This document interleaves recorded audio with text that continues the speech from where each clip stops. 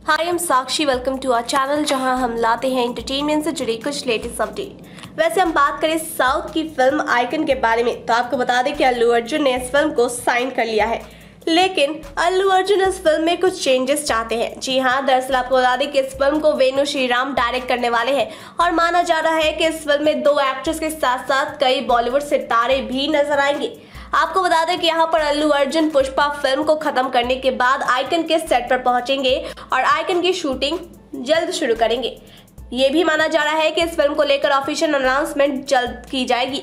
लेकिन आपको बता दें कि यहाँ पर अल्लू अर्जुन अपनी इस फ़िल्म में स्क्रिप्ट में कुछ चेंजेस चाहते हैं। उन्होंने वेणु श्रीराम को कहा है कि स्क्रिप्ट में कुछ ऑल्टरेशन करना ज़रूरी है।